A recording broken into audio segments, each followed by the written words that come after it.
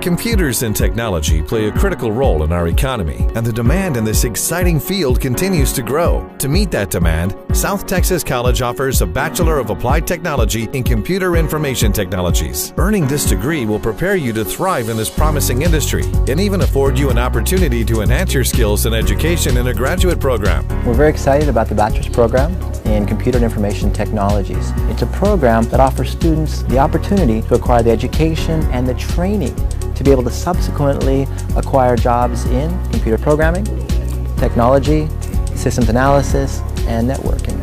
If you look at most of the statistics, what you find is that computer programming, network analysis, and systems are three areas where there's projected to be an ongoing increase in demand in the private sector. According to the latest projections from the Bureau of Labor Statistics, demand for software engineers will increase to 32% and demand for database administrators to 31%, with an average salary of $73,000. It was challenging for me, um, given my background uh, in networking and virtualization, but it was a good experience. I told myself, you have to get a bachelor's degree in order to make yourself marketable because the competition out there is fierce because these days people want to hire people that know the technology and can work at a super, you know, accelerated rate. And you have these younger generation that can, and so the older generations, you know, it's you know you have to keep up.